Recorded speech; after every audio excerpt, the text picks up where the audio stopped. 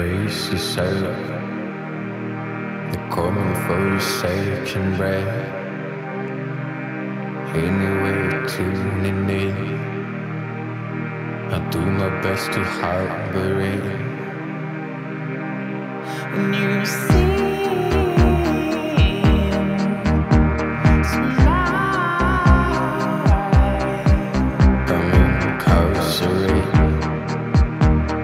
happy to be.